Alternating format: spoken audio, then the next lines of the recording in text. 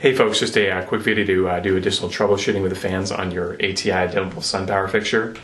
Just a quick note first, uh, the fans on the dimmable SunPowers all get their power from the controller.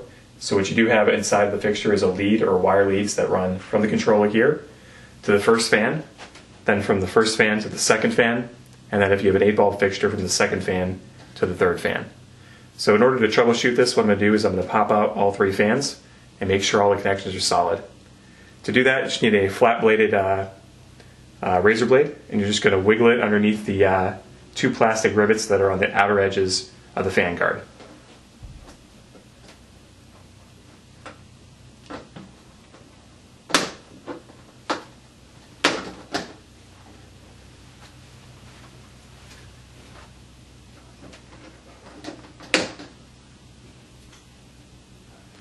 Once you got that out, the fan should uh, just come out real easily.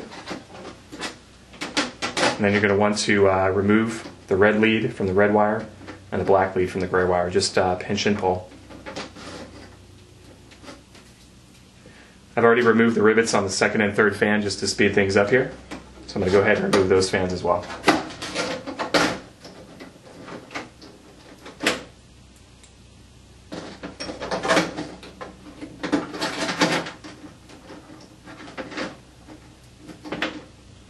Once you got those out, you just want to uh, check the wire connections um, that are running into the, uh, the, the, the junctions here.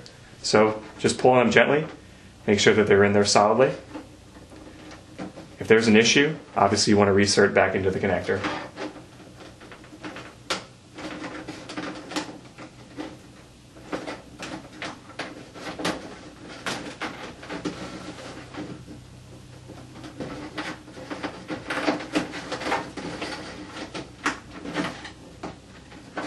And once that's done, just uh, reinsert your fans.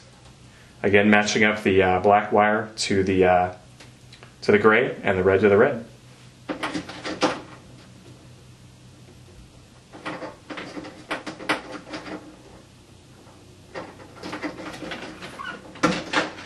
And then uh, final thing to do is just to make sure you push the uh, connectors underneath the fixture. You don't want them right below the fan body because they will prevent them from spinning. Go ahead and set the fan in there nicely and then reinsert your rivets and fire the fixture up. If you have any additional questions, contact us at atinorthamerica.com. Thank you.